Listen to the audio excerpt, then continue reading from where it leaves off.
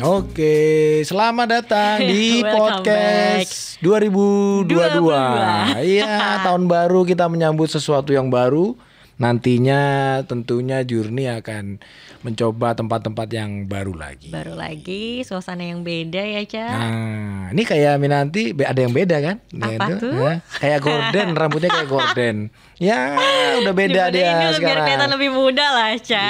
Ini tanda-tanda bahwa memang 2022 kita akan membuat Menua. sesuatu yang baru lagi ya. Oke. Oke, jadi Iya, ini iya. kita mau kilas balik dulu ya, Ca, Ya, ke ya, ya. beberapa liputan kita Ya, sebelumnya ya. di akhir-akhir tahun. Hmm. Apa aja nih? Nah, jadi kita sempat eh, bekerja sama ya dengan beberapa pihak kemarin untuk melakukan eh, syuting eh, destinasi wisata yang pasti di Indonesia dan tempat-tempatnya nggak kalah seru dengan sebelum-sebelumnya ya tempat-tempat yang menantang. Ada beberapa lokasi yang menurut kita itu menarik. Menarik. Wah, ah, nah, Orang jarang tahu, orang jarang tahu. tapi sebenarnya itu bagus banget. Bagus banget dan ini yang mau kita bahas sebenarnya sama Minanti. Kebetulan Minanti yang jalan, ke Jalan sana. dan juga sama Cakri. Ah, kebetulan aku yang nemanin gitu ya. Ini di Natuna. Hmm. Orang pasti kan taunya Natuna pengeboman ikan oleh Susi waktu itu tenggelamkan, tenggelamkan Hmm. Oh iya, karena banyak Bu illegal Susi. fishing Ya, ya, gitu ya. kan. Terus juga taunya Pak itu pulau terluar di mana sih Natuna gitu kan. Iya, iya, iya, iya. Itu Tempat wisata apa bukan gitu ya? Tapi ternyata pas kita ke sana Hmm. lumayan juga Ya. bagus. Contohnya apa aja nih Ca yang kemarin kita ah. liput? Oke ya, jadi kita kemarin sempat berkesempatan pergi ke Pulau Nan jauh di sana itu. Iya.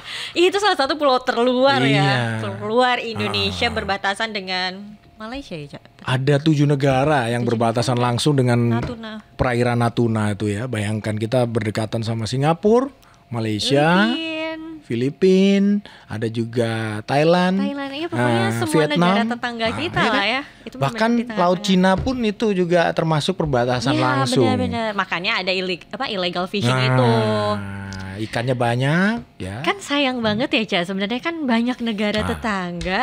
Tapi masa kita nggak tahu sih potensi Natuna apa aja gitu. Iya, betul sekali. Jadi kita kemarin kesempatannya bener-bener suatu yang langka lah kita bisa kesempatan pergi ke pulau sana itu.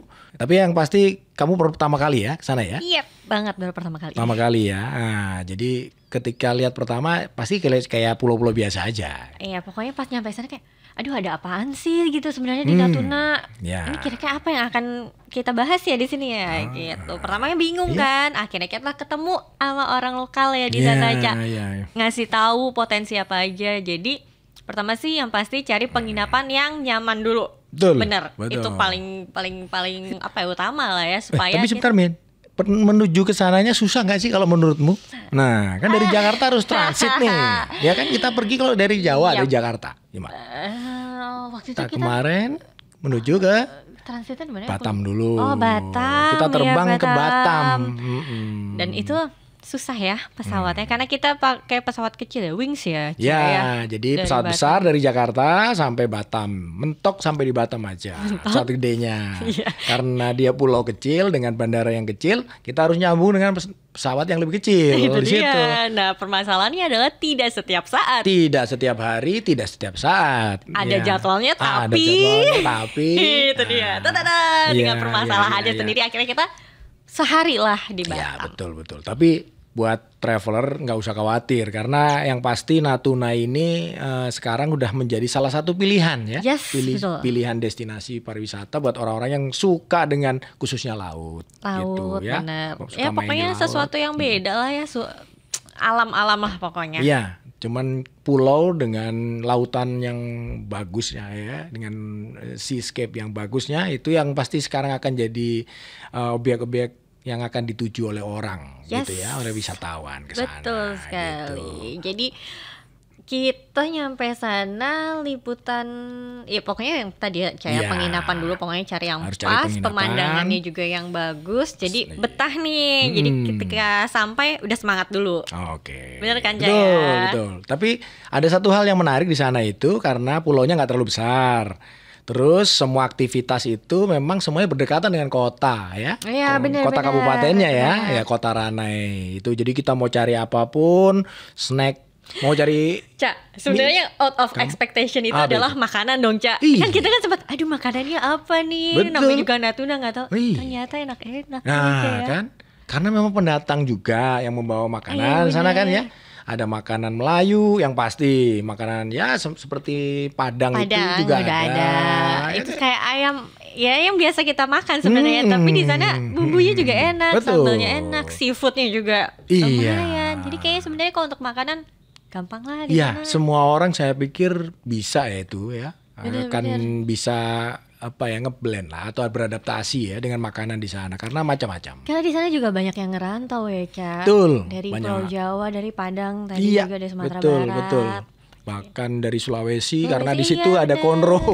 Ingat nggak ya? Ada makanan konro juga. Berarti kan sebenarnya lengkap di sana itu. Jadi Lengkap. orang nggak perlu khawatir soal kuliner atau makanannya di sana. Nah, sekarang aku mau tanya nih sama Minanti. Ketika pengen jalan-jalan apa yang terbersit pertama di sana ketika melihat pemandangan di Natuna? Nah, coba. Pemandangan pertama ya Hmm. pasti kan apa ya pokoknya nih yang kita tahu itu kan pasti laut Mm, awalnya. Nah makanya aku pokoknya harus cari penginapan yang deket laut. Betul. Itu tuh betul. pertama banget kayak pokoknya aku mau nikmatin alamnya dulu nih dari tempat penginapan. Dan akhirnya kita nemu dong Hmm. Iya, ya Ca ya. iya, iya, ada rekomendasi ya. Ada rekomendasi. Jadi sebenarnya tuh ada beberapa pilihan di sana mau dari range harga sekitar 200 Ya, 250 250 sampai jutaan. Iya. sampai jutaan. Nah, tapi Resort kalau ada. Hmm. misalnya mau pemandangan yang bagus ya harganya juga Ya. menyesuaikan. Betul, betul. Tapi lumayan bagus ya, Bagus, Ca ya, yang kita bagus. penginapan yang kita Ya, ya. pilih lah Iya, terakhir-terakhir. iya, iya, iya. Karena belakangnya langsung batu-batu granit Betul, besar. Itu tuh salah lokasinya. satu Ya, eh, lokasinya sangat khas strategis. dari Natuna ya. Iya, iya, iya, iya. Jadi memang pantainya ini didominasi selain pasir putih atau Iya, mungkin pasir coklat ya, tapi ada juga yang berbatu. Dan batu-batunya ini nggak nggak bukan batu biasa tapi batu-batu besar. Iya, granit yang Iya besar. kan? Jadi Ya. tuh kayak Mhm. ya udahlah pemandangannya bagus. Mau apa sekarang kan zamannya media sosial. Betul. Udah deh, paling pas. Ini mengingatkan saya kalau baca-baca buku nih mungkin traveler tahu itu ada tempat di masih wilayah tempat jajahan jajahan Perancis kalau nggak salah itu itu namanya Pulau Cycles. Cycles itu hampir sama lokasinya kayak gitu ya. Bayangkan Pulau Cycles yang kecil hanya dengan batu-batuan di pinggir pantainya itu mereka bisa menjual pariwisata dengan luar biasa.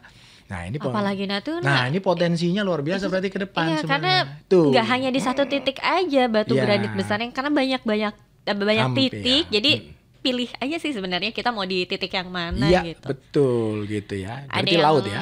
Ada yang homestay. Oh ya. ada yang ya. ah, homestay itu yang Bu Susi Mm-mm. sering ke situ menteri-menteri terus Iya. ada juga yang hotel yang resort Nah, ini memang menariknya banyak di sebenarnya pilihannya di era sekarang ini udah mulai banyak pejabat-pejabat menteri yang datang ya. Memang melihat selain memang pulaunya strategis, tapi memang ini punya potensi berarti kan gitu ya. Bayangkan seorang eh, mantan menteri kelautan perikanan Bu Susi bisa berinvestasi di sana, bisa melihat pulau ini sebagai sesuatu yang ke depannya nanti jadi sesuatu yang luar biasa luar biasa Ya, betul keren ya. betul Ya, keren keren jadi ya dari segi penginapannya juga sudah cukup mumpuni Iya, iya. iya. buat wisatawan mau lokal Menurut Minanti kira-kira kalau berwisata di Natuna eh, butuh berapa hari? Nih, kira-kira ya. Sama berangkatnya tadi. minimal ya, Ya, minimal. minimal seminggu ya lah ya Seminggu. untuk explore karena Oke, banyak oke. banget, Iya, iya. banyak iya, banget iya, iya, iya. dari yang untuk staycationnya aja udah dapet. Mm-mm. Terus kita juga untuk diving ya, wisata Nah, khusus udah pasti sih. bahari ya. Bahari, Hmm. diving tuh banyak titik. Yang pasti kalau bisa diving bisa snorkeling dong. Nah, iya, Ya, benar. Ada beberapa titik juga yang ada beberapa bisa titik. kita Nah, bisa tapi snorkeling. waktu itu kita cuman ke salah satu titik ya, Jaya, Ah. di Pulau Senua. Pulau Senua itu jauh ya dari jauh, pulau? jauh dari kota, jadi kelihatan gampang. ya kalau Nah, kita ke pelabuhan atau ke pinggiran langsung kelihatan. Langsung ke pelabuhan tuh. Cak, kita lintas aja kelihatan ih ada pulau tuh. Betul, pulau apa tuh? betul. Pulau kecil, penasaran. Ya, Terus kita itu. tanya-tanya orang lokal, ternyata itu spot diving. Iya, itu dia ternyata Tinggal memang nyebrang. pulaunya juga unik ada di seberang kota gitu ya Hmm. dan ini menjadi tempat yang mudah dijangkau lah buat orang-orang yang nggak perlu jauh-jauh gitu ya mungkin ada beberapa spot lain yang bagus di luar sana tapi eh, yang pasti spot yang wajib dikunjungi pertama ya di Senua Ya, itu ya. Senua itu ya. paling terdekat. Betul. Hmm. Dan ya bagus juga ya, Caya. Bagus, Jernih. bagus. Dan Jernih, ada jernih. satu spot yang isinya itu seperti batu granit semua, ya nggak? Itu itu sangat unik sih sebenarnya. Itu Koralnya penyelaman dikit. yang beda. Hmm, penyelaman coba yang beda. pengalaman Minanti gimana tuh nyelam di situ tuh? Batu semua. Itu cukup unik sih karena kan pertama kan dikasih tahu ya sama Hmm. Iya. yang nganter kita Kayak- namanya Bang Cerman. Jadi dia salah satu wis eh bukan wisata, Penggiat. orang lokal, Mm, penggiat mm, lokal mm, mm. yang bisa memperkenalkan Natuna ada apa saja khususnya di wisata bahari. Iya. Nah, dia betul. memperkenalkan tuh salah satunya ini nih ada spot beda itu tepat di tebing Mm-mm. Kita nyelam di situ dia ngasih tahu sih ini beda ya eh, penyelamannya karena ini biasanya spesialis mikro ya Caya. Ya, rata-rata memang Mikro atau makro sebutannya makro apa? ya. Oh makro Ah, ya. Makro ya karena memang organisme yang atau biota lautnya kecil-kecil yang Ya. bagus untuk difoto gitu ya. Eh, kalau Jadi pas nyelam itu emang kita kayak hmm, apa nih gitu Iya, langsung pecahan-pecahan batu yang kita lihat di Iya, bawah tapi sangat memang- beda. Tapi tetap aja banyak ikannya juga ya Ca Iya, di iya, sela-sela batu. iya, Jadi kan iya, biasanya kita iya. ngeliat ikan di karang gitu. Tapi ini beda di sela-sela batunya. Jadi di Pulau Senua itu memang ada beberapa spot, ada yang terumbu karangnya, ada juga yang tadi spot unik yang berbatu itu ya. Itu Gitu. Itu harus datang berarti harus itu datang. kalau diver-diver dari Jawa, dari Jakarta ya, ya. atau dari Sulawesi dari mana pun lah ya, Ya. Bisa. Kalau mau main salah satunya spotnya harus ke sana. Gitu. Oke. Karena cukup berbeda. Iya. Dan kalau sudah main di laut, apalagi nih kita bisa main di sana? Gunung dong. Oh iya betul. Tapi ini kita nggak naik Oh. gunungnya ya karena memang kondisinya Ah. waktu itu lagi pandemi dan lagi Iya, ditutup ya kalau nggak iya, salah ya. Betul betul. Akhirnya kita ke salah satu curug Mm-mm. itu di kaki Gunung Ranai. Mm-mm, mm. Ya trekkingnya lumayan sih ya Ca sebenarnya. Lumayan jauh. Lumayan jauh dan untuk trekking awal tuh langsung Iya, agak langsung nanjak. Hmm. Tapi setelah itu ah, landai. Iya iya iya itu. Tersembunyi sejuk. Ah. Ya dapat percikan-percikan Iya, air, iya, ada iya. bias pelangi juga karena oh iya. sinar matahari. Itu karena air terjunnya kalau lagi pas musimnya. titiknya, Ah, betul, pas titik titiknya matahari itu. di atas.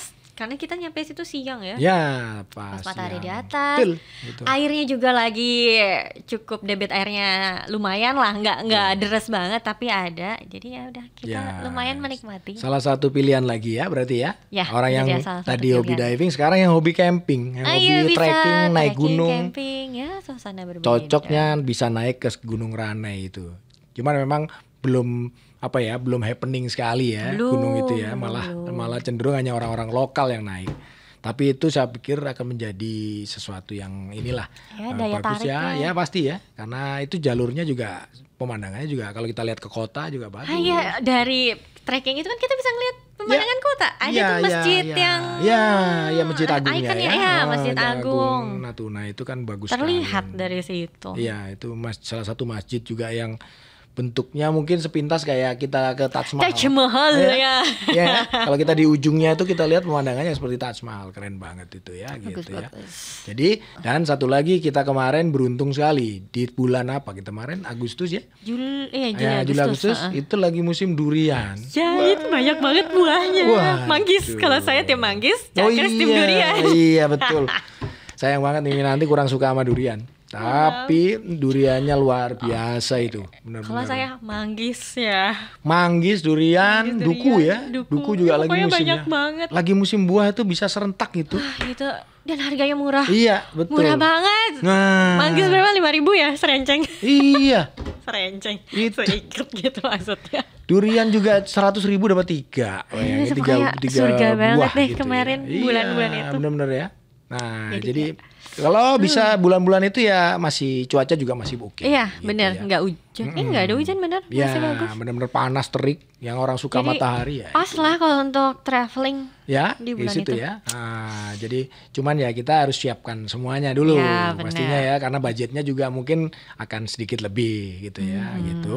Tapi Nah, ya saya pikir sekarang travel dan agen-agen travel pun sudah berani kok buka ke sana kan.